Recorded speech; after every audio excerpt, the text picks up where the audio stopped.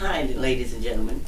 My name is Mary Ross, and I'm the author of Weapons Formed Against Me. You can purchase the book at either Barnes & Noble, Amazon.com, or iUniverse.